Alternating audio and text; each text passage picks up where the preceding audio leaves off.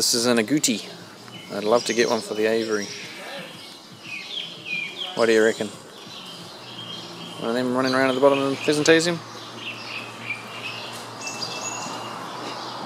Today I am going to shift these three into their new home next door so that mummy who's sitting under there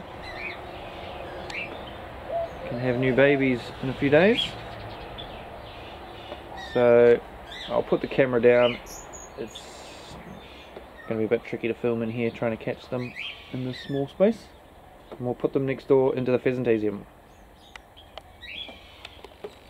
You're going to get some new friends twins you waiting for your blueberries? They're sitting there. Come along. Wow, that was super easy, that first one.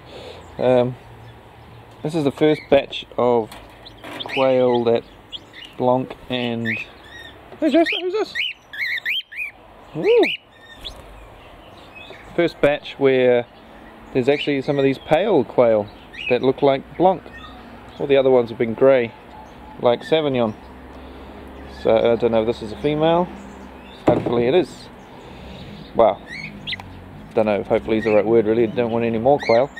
Well, brothers and sisters breeding now, do we? Right, Swinny, new little friend for you. Don't eat it. Okay. Your other little siblings are running around over there. Your older siblings. Okay, so you ready?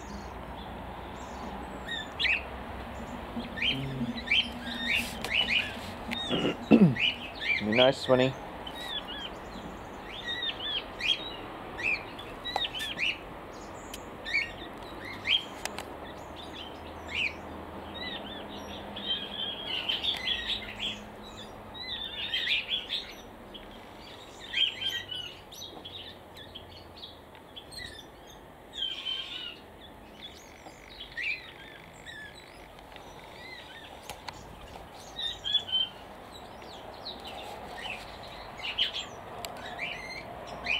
So the other ones are calling in there. I'll just stop now that I've started talking. Hello Charlie. Hello Charlie. Oh. Not gonna say hello. Hello Joestar. Oh, you all been grumpy this morning. Not Poopy. Poopy always wants a scratch. Mm, hello Joestar. Hello Joestar. You say hello to everybody? Joestar. Joestar. Wait, Joey. Joey. Go back up there then.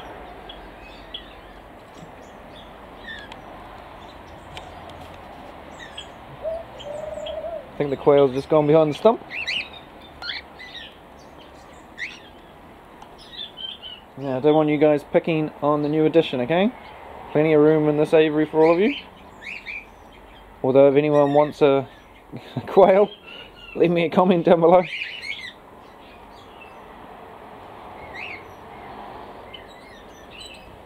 Oh, it's over in the corner there.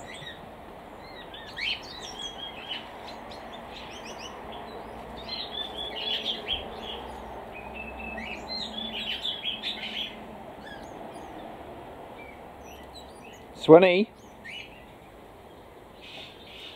Swinny! Swinny!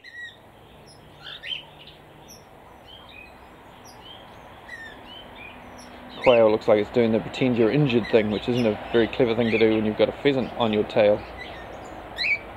Swinny! Behave, Swinny. You've been a good girl with the other ones.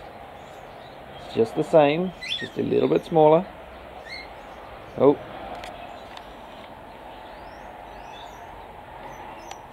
Now, those of you not familiar with or comfortable with the way birds work might want to look away because this quail is probably going to get a little bit picked on for the rest of today. But eventually they'll sort themselves out, get their hierarchy in order, their pecking order, and all will be good. Unfortunately, that's just what birds do.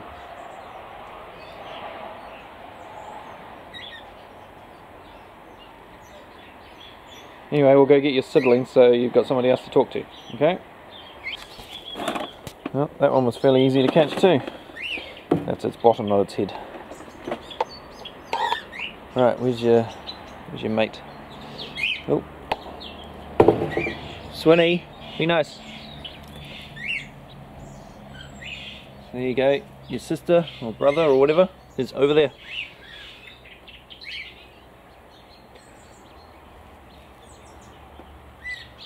Oh, it's going to go straight over to the other quail. No, changed my mind.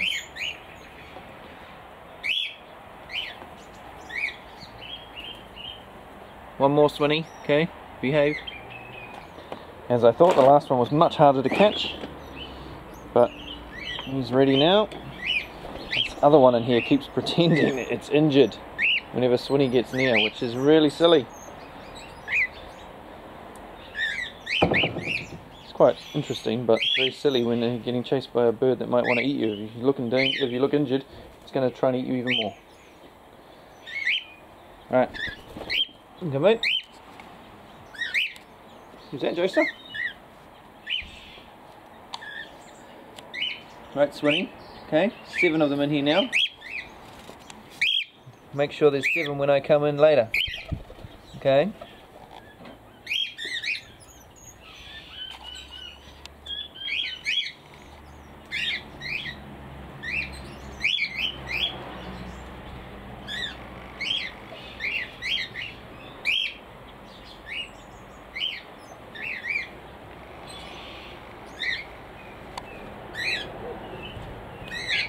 Quail are really quite fascinating to watch. Alright, anyway, we better give you guys some food, eh? Clean your water bowl. Yep. Time of the day.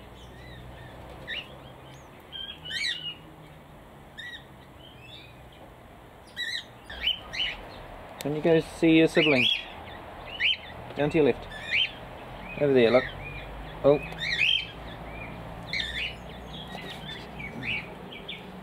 funny.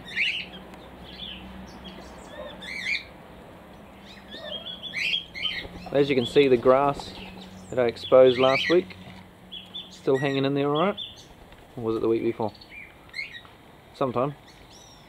Hasn't all been destroyed so that's good. G'day mate.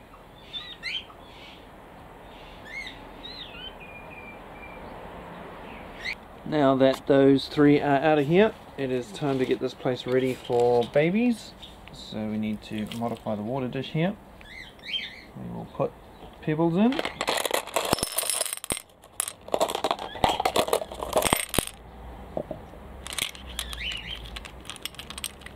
So this is to stop babies from drowning in the water bowl, which they will do at the drop of a hat, given the chance. So that way they can walk in the water bowl and it not overcome them.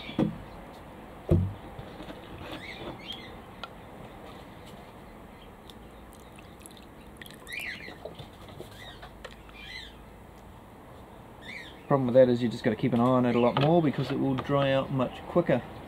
Although it is winter here now, so nowhere near as hot. Far less of the drying out going on and the evaporation.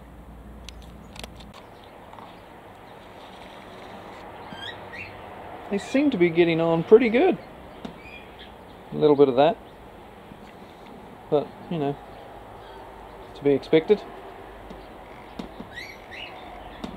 Quail running everywhere, it's going to be hard to keep track of them all soon.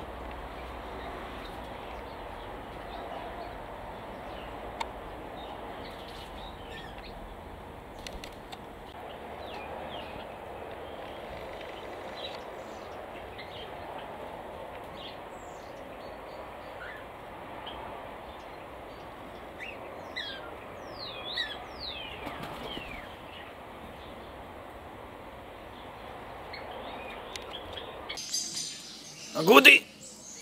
Agouti! Run around the bottom of the pheasantasiam, cleaning up all the scraps.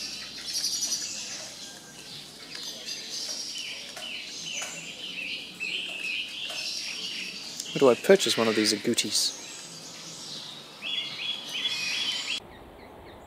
Makes it feel much more open in here again now. That removed while I'm at it I'm going to do a few more things. Maybe replace these perches which are getting a bit grubby. Just a bit of a tidy up in here. Have a bit of a red rump cleanup.